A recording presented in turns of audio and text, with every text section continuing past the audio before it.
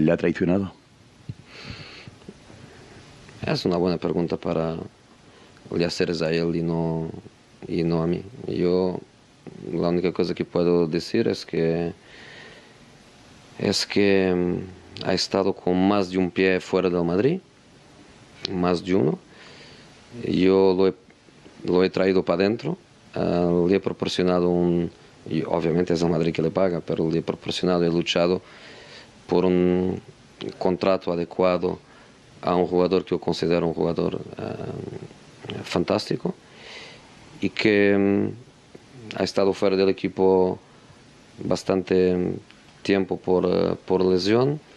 Ha empezado a jugar un niño que, que tiene 10 o 12 o 10, 12 años 13, pienso 13 años menos que, que él, pero un niño que en mi opinión, otra vez estamos en mi opinión, en mi visión de la situación, un niño que ha merecido jugar y después yo pienso que él no ha asimilado y aceptado bien esa situación. Y entonces entramos después en un periodo donde toda la gente que lo quería fuera, donde toda la gente que eh, le llamaba el, el, asesino del Real Madrid, donde toda la gente que cada día recordaba sus actitudes en campo, que cada día recordaba el problema que ha tenido con el Getafe, en que casi se arrancaba la cabeza de,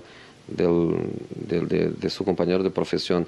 Toda la gente que le criticaba y que no lo quería en el Madrid, de un momento al otro se han metido todos de, de su lado, lo han defendido muchísimo y yo de verdad me alegro mucho porque pienso que Pepe es un jugador fantástico, un jugador del cual el Real Madrid uh, necesita porque es difícil encontrar un jugador tan bueno como, uh, como él y me alegro que ahora él pueda tener este apoyo, esta tranquilidad, porque la misión de un entrenador es también un poco esta, atraer hacia sí mismo el odio de la cuestión y dejar sus jugadores en una buena situación. Yo pienso que él ahora tendrá mucho mejores condiciones para, para estar bien.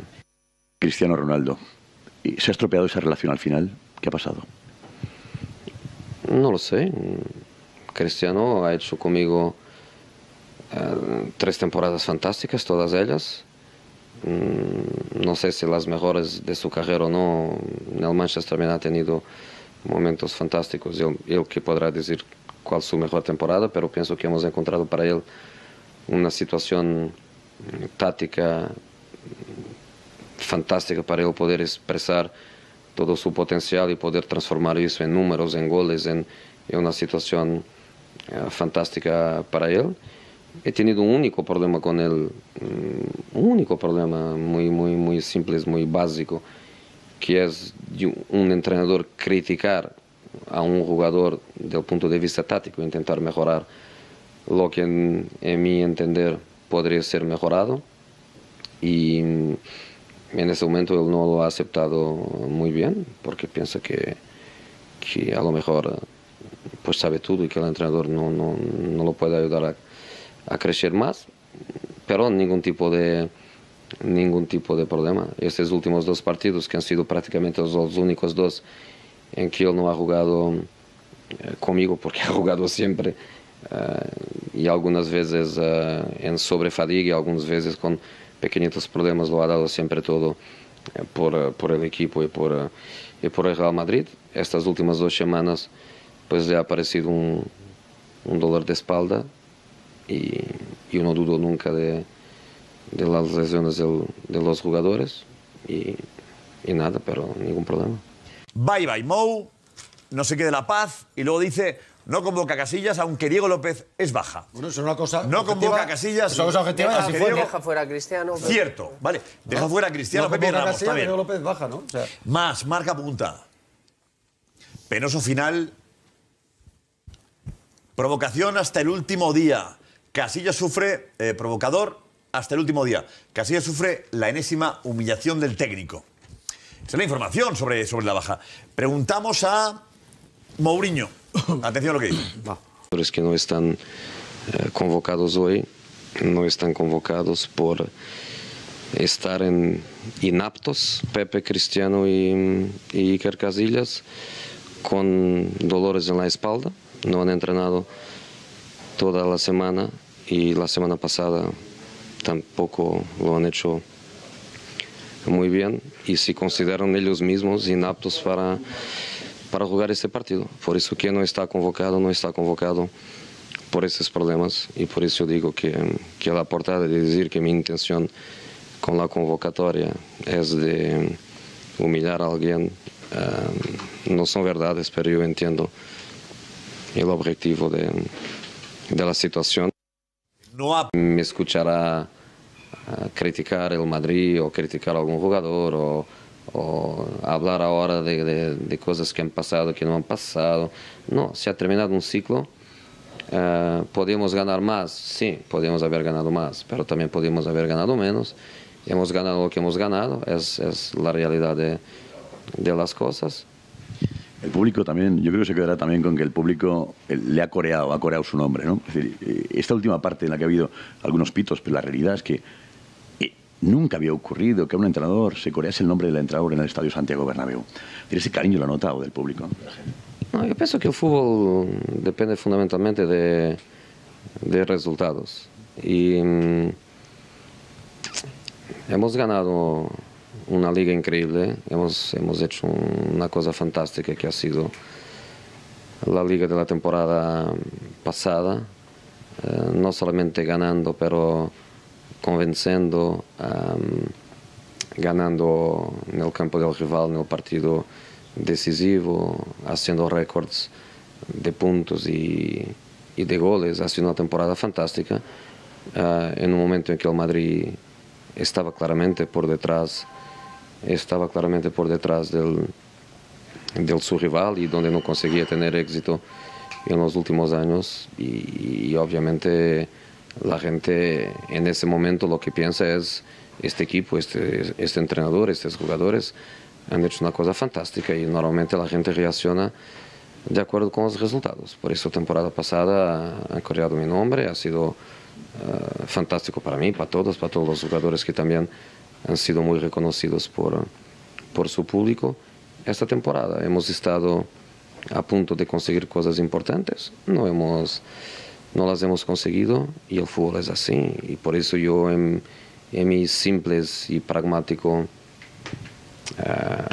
comunicado que, que, ha sido publicado ayer en la web del, del Real Madrid, mm, yo decía, agradecía a todos los que me han apoyado, pero respeto total para los que que no, no, lo han hecho. Y por eso yo digo, yo me voy con un, con un feeling uh, positivo y deseando el mejor, la mejor felicidad para todos los aficionados que tengan alegrías en el, en el futuro con su querido Real Madrid.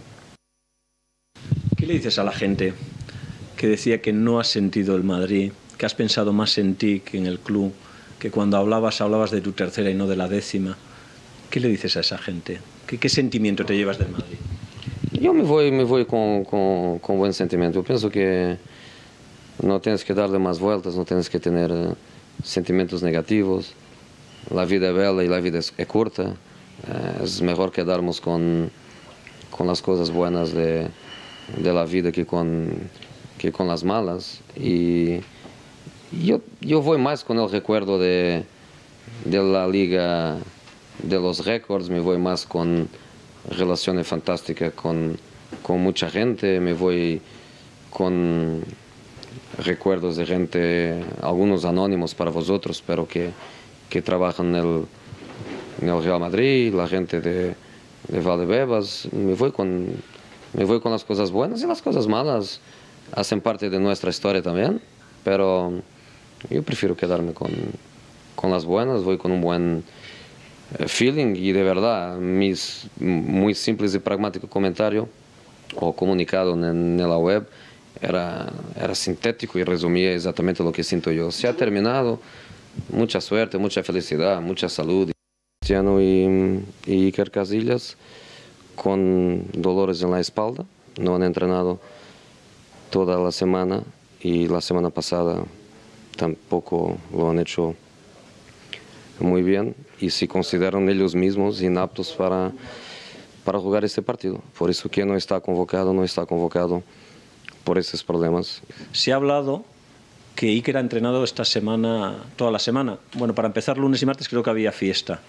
Eh, entonces, uno de, las, de los motivos que dan para, para la decisión que usted ha tomado es que hay que ir a entrenar toda la semana. Lunes y martes uh, había fiesta para los jugadores uh, que están sanos, para los jugadores que no están lesionados, porque desde que yo he llegado la práctica común es que el jugador que está lesionado no tiene días libres, el jugador que no está en condiciones de, hacer su trabajo uh, se tiene que cuidar, se tiene que tratar y tiene que, que estar mañana y tarde en, el departamento médico trabajando para su recuperación, porque en el fondo el club le paga para jugar y para estar eh, disponible.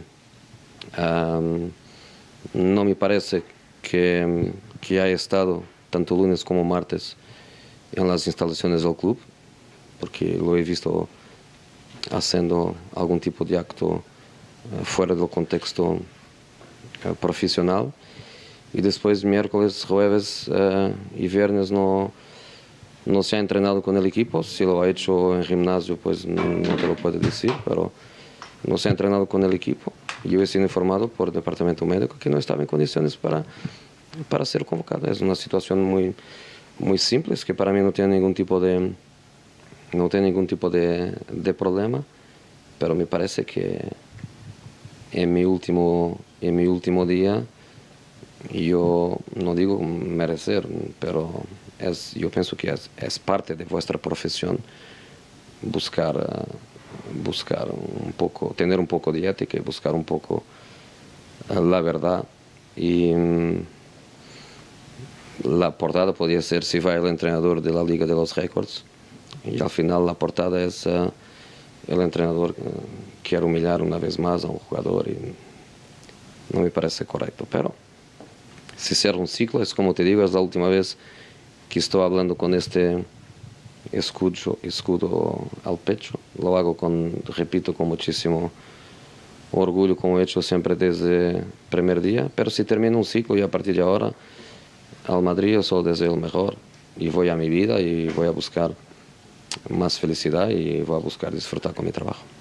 Eh, le pediría que me resumiese brevemente la relación que ha tenido con algunos eh, personajes que yo le digo. ¿Vale? Brevemente. Evidentemente Iker Casillas lo primero.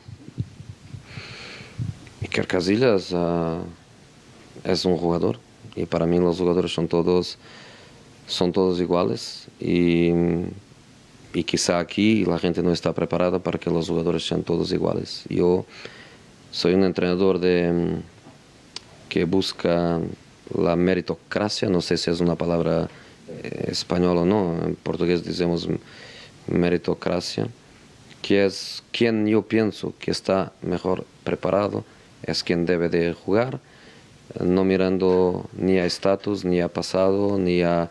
No, eh, es como trabajas, es como entrenas, es, es como, es, como, es como juegas. Y para mí ha, sido una situación absolutamente normal, como ha sido normal eh, dejar toda la temporada Marco Materazzi también ello también el campeón del mundo, también el jugador mítico en el Inter, Marco Materazzi en, banquillo, como en el Chelsea esta temporada Benítez ha dejado a John Terry siempre en banquillo, como Sir Alex ha dejado a Rune en el banquillo, basado en lo que yo pienso que es meritocracia.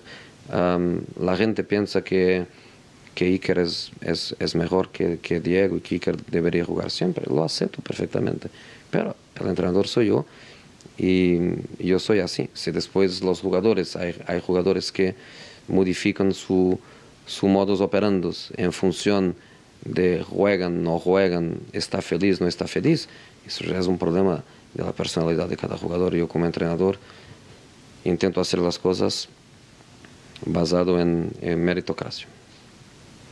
Usted sabía que sentando a Casillas tenía un problema. Pero por lo que suponía. Pero para mí, mis decisiones no tienen con el pensar o no pensar que voy a tener o no voy a tener problemas. Yo prefiero tener problemas con la gente, o problemas con la prensa, o problemas con, con media ciudad, que tener problemas conmigo mismo. Y tener problemas conmigo mismo sería pensar que un jugador merece jugar y no jugar. Eso para mí que sería un problema, un problema de fondo. Yo otro día preguntaba a Héctor, uh, lo que había aprendido más en esos tres años.